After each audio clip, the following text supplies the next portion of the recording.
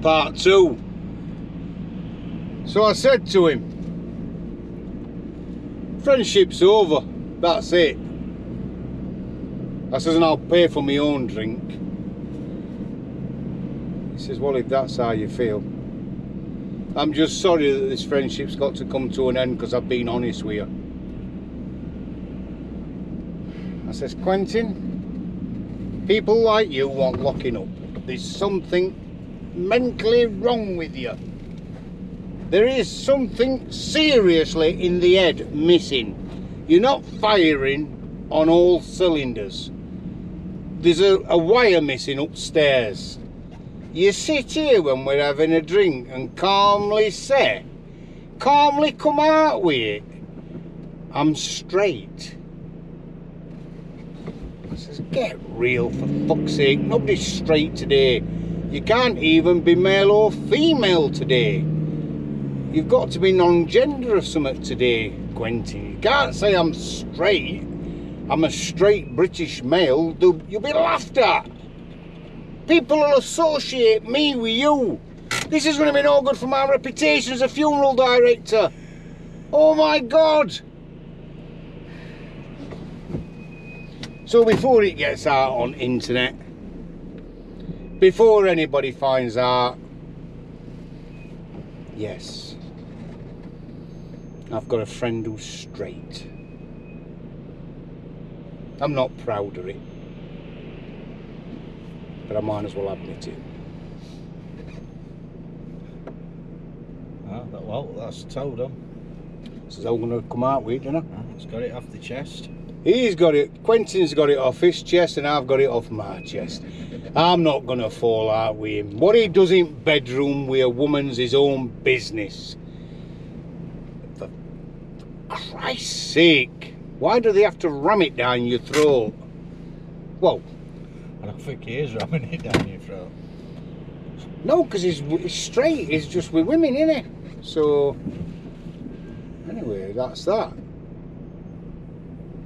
I hope you like this channel because yeah we'll talk about what we do at work and we will talk about depression anxiety and mental illness. See I thought that with Quentin were alright to say but some people have said have you heard what he said? Is disgusting. He's actually admitted to having a straight friend just being honest.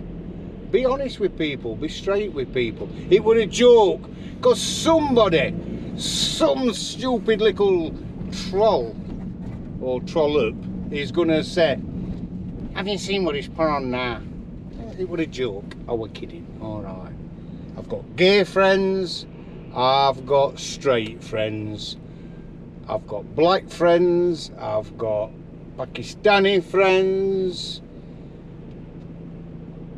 I'm privileged that I will mix with anybody. That's how it should be, Dave, isn't it? Yeah. I've got no friends. He wants an allotment. Billy, no mates here. He has got friends, he's got plenty of friends. It's just that he hasn't found them yet, have you? No. If you want to be his friend, leave us a message. Leave us a comment because it goes on YouTube, it, go, it can actually answer your comments as well, don't you? Yeah, I go on uh, now and again, yeah. It's on now and again. Go and have a look. And you'll see what's being put on. Come on. Uh, so yeah, you can leave Dave a message. And I'd like you to do that because if we're all nice and do that and support and help each other, this world would be a lot nicer place to be in people think are saying I'm brilliant for going and getting 500 Easter eggs for local school. Well, actually, no, I'm not. This kid here outside of me, when women sorted that out and brought them and unpackaged them and everything, didn't you, Dave? Yeah, and I, uh, everything. And he's not had a one, I don't think. No, no, not yet. Mind you, we were sick all afternoon yesterday kept running to the toilet being sick.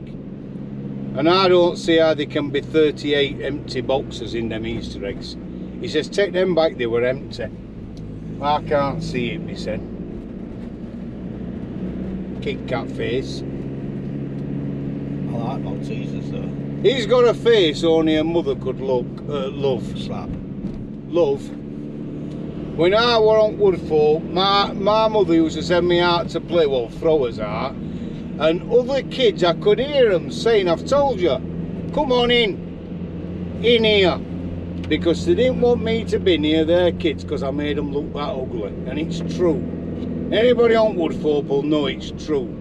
I was the most beautiful baby ever born on that estate.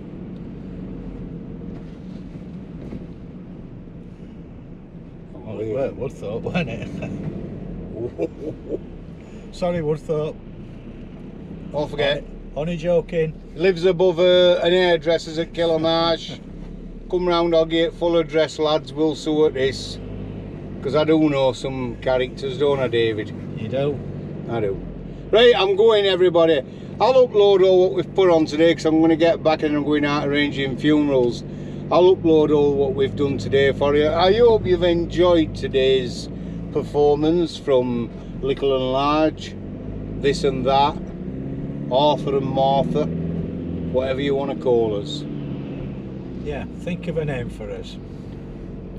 Mick and Dave, like Chas and Dave. So yeah, all you want. I hope that we've entertained you a little bit and show you that funeral directors aren't all doom and gloom. Yeah, he's on about doing his sending. But we've got to look on the bright side of things as well, haven't we, Dave? Yeah. That's why I took him to Moultrie Hospital to try and cheer him up.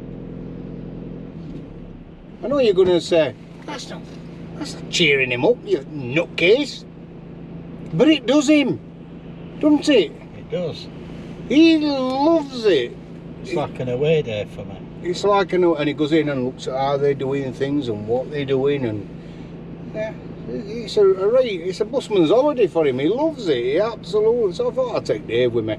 Went to Rotherham Hospital this morning and then we've been to Northern General today. Now I'm been on a funeral and now I'm going out to meet families to look after loved ones. What we will be looking after. I'm tired. Thanks for liking this channel. Thanks for pressing that subscribe button. I love to see that going up. And if you want to see more, press my bell. Yeah, ring his bell. Ring my bell. There's no answer to that, but there's a bell on this apparently. If you press it, I don't know where it is, but somebody says, You've got a bell, Michael. Uh, and and I've pressed it, and every time I put something on, it rings. So, yeah. If you're liking it, press that bell. Have a fantastic day. Neil and all rest of you who always comment.